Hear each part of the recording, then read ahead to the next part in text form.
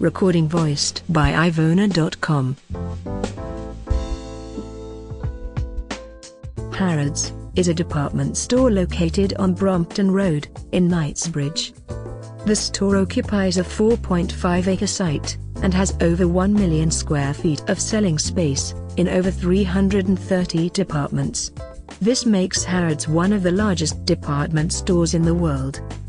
Harrods was established in 1834, when founder Charles Henry Harrod set up a wholesale grocery in London's East End, with a special interest in tea.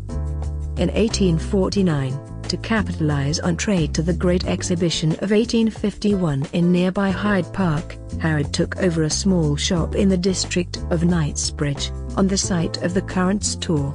The shop sold groceries and only had a turnover of £20 per week.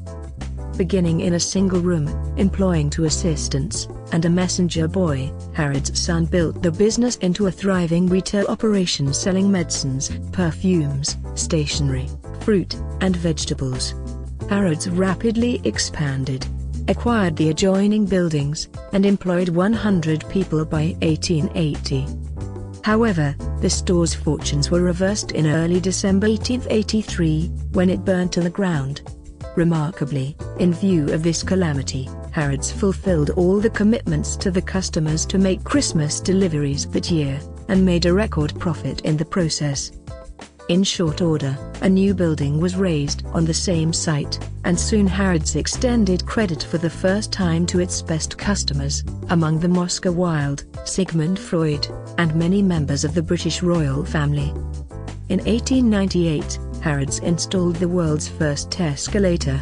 Nervous customers were offered brandy at the top to revive them after their ordeal. Up to 300,000 customers visit the store on peak days, and more than 5,000 staff from over 50 different countries work at the store. Approximately 11,500 energy-efficient light bulbs turn Harrods into a beacon of light each night, 300 of which are replaced every day. Visit Ivona.com. Create and download recordings voiced by Ivona Voices.